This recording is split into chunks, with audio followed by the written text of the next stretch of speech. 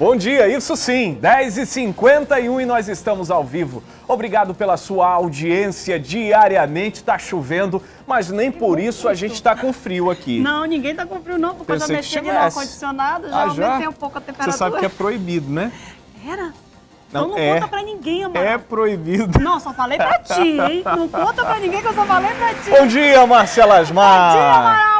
Dia pra você que tá aí do outro lado, você que tá acompanhando o programa da comunidade, esperando ansiosamente pelas notícias que a gente traz aqui todos os dias pra você da Zona Leste, Zona Oeste, Zona Norte, Zona Sul, Zona Centro-Oeste, Zona Centro-Sul. Estamos aqui, estamos a postos pra levar muita informação pra você. Posso usar aquela frase que também você se apoderou é, de, de uma apresentadora aí? Falando francamente, Márcia Lasmar, quando acende essa luz vermelha Ah. Uh! ali daquela câmera.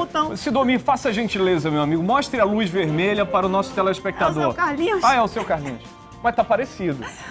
Olha, Não dá pra mostrar a luz É, vermelha, então. porque quando cortar para aquela câmera, a luz vermelha apaga. Apaga. Ah, pensou? Oh, e agora? Amaral, Como é que a gente faz, faz? essas coisas sou eu, Amaral. não Como é que a gente não, faz agora? Tá imitando, hein, Amaral? Mostra, paciência. Depois a Ah, gente filma e mostra pena, o Que pena, aqui. Márcia Lasmar. Mas eu queria dizer que quando essa luz vermelha acende, é o sinal de que nós estamos no ar.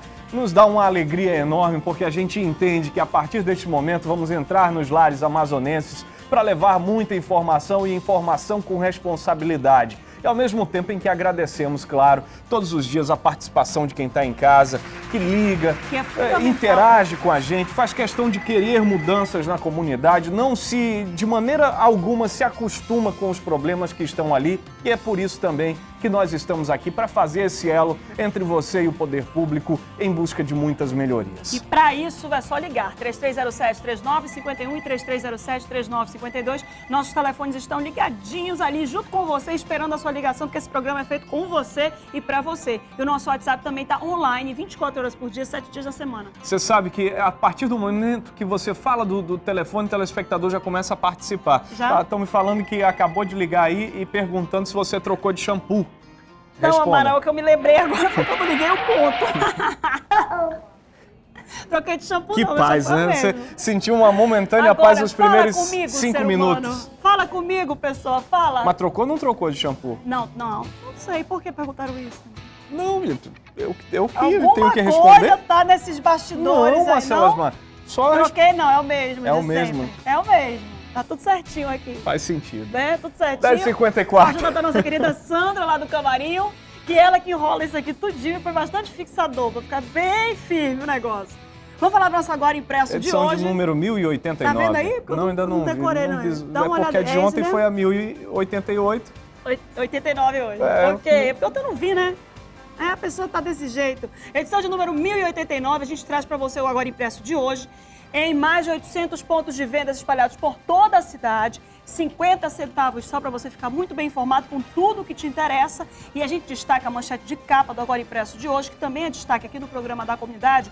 O laudo sobre a morte da policial militar Deusiane Pinheiro e o laudo descarta o suicídio. A gente trouxe para você no início de abril aí, lá pelo dia 3, 4 de abril, a situação da, da morte da Deusiane Pinheiro. Ela foi encontrada morta no batalhão ambiental lá no Tarumã. E no primeiro momento, algumas as investigações levaram para um suicídio, apesar da família contestar isso. E já de antemão, naquela época, já dizia que ela não havia se suicidado, que ela havia sido morta, havia sido assassinada. E o laudo é divulgado dizendo que realmente ela não se suicidou. Essas e outras notícias você acompanha no Agora Impresso, que está em mais de 800 pontos de vendas, só o que interessa por 50 centavos apenas. Bacana também que essa informação e muitas outras você encontra no nosso portal de notícias, o Portal em Tempo, em www.emtempo.com.br. Se mantenha bem informado com a gente e a partir de agora se ligue conosco em mais uma edição do programa da comunidade, esse programa que chega